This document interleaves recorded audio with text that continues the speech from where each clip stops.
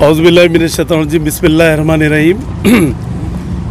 ये बाबा शरफुद्दीन पहाड़ी दरगाह के तहत ये जगह 16 एकड़ है। ये ये जो लैंड अभी हम यहाँ पर फाउंडेशन रखे।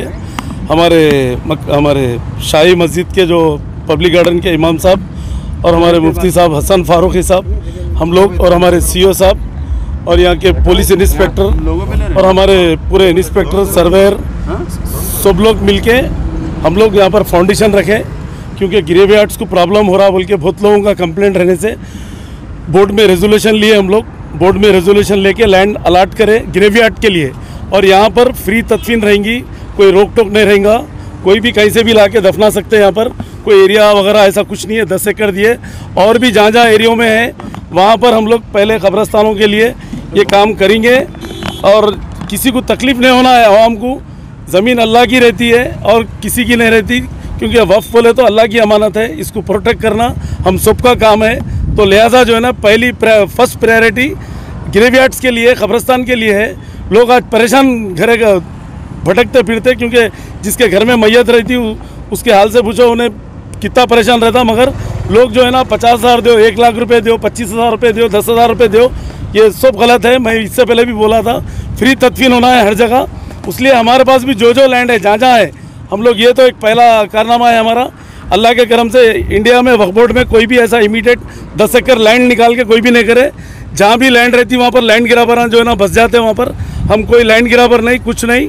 हम लोगों के सबके बोर्ड के ताउन से, पूरी गवर्नमेंट के ताउन से के साहब भी इसमें सीरियस है। के साहब की गवर्नमेंट में जो है ना हिंदू, मुस्लिम, सिख, ईसाई सबको लेके चलने वाली गवर्नमेंट है और के साहब की हेल्प से ही जो है ना, हम लोग ये सब काम कर रहे हैं हम लोग और के साहब की सपोर्ट से हम लोग जो है ना, गवर्नमेंट की सपोर्ट से भी जो है, जहाँ जहाँ हमारी लैंड है, उसको प्रोटेक्ट कर रहे हैं हम लोग और जहाँ एक्सेस लाइन है, उसको हम ग्रेव को भी जो है ना, हम फ़र्स्ट प्रायोरिटी देंगे। जहाँ जहाँ भी हमको इन्फॉर्मेशन मिली तो हम लोग, अब यहाँ की ज़मीन का हमको इन्फॉर्मेशन थी तो वो हिसाब से हम लोग, आज हमारे जवाद मुल साहब, जो इमाम साहब है, मक्का, हमारे शाही मस्जिद के, उन्होंने और हसन फारूकी साहब, जो मुफ्ती साहब है ये लोग सब मिलके हम लोग सीईओ पूरे ऑफिशियल पूरे बोर्ड के सब लोग मिलकर हम लोग आज यहाँ पर शुरुआत करें।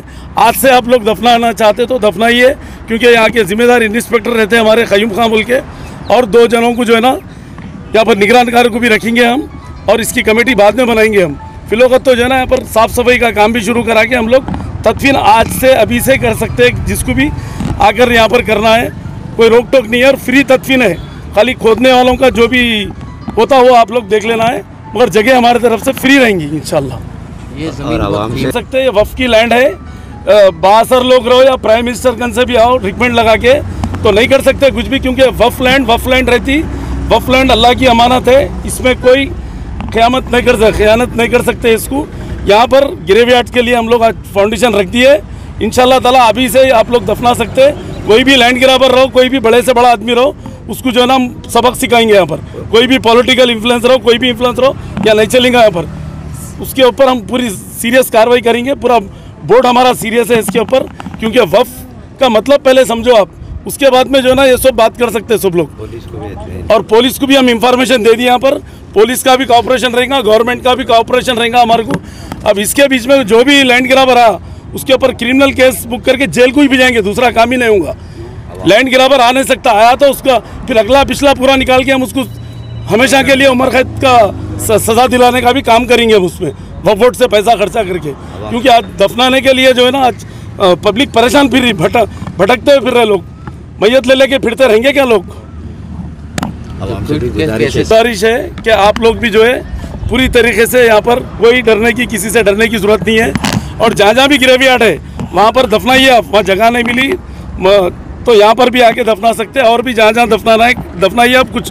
कोई नहीं कर रहे तो हमारा हेल्प डेस्क है, वहाँ पर भी कंप्लेंट करिए, हमारी पूरी टीम आके ठहर के दफनाने लगाएँगे इनशाला और किसी का कफन दफन के पैसे भी नहीं है, जो गरीब है एकदम, मंगने वाले या रिक्शा, जो भी है तो पाँच हज़ार रुपये वकबोर्ड से इमीडिएट आदमी लेके पहुँच जाएगा। आप लोग फ़ोन करके आप ये करिए सिस्टमेटिक लाइन से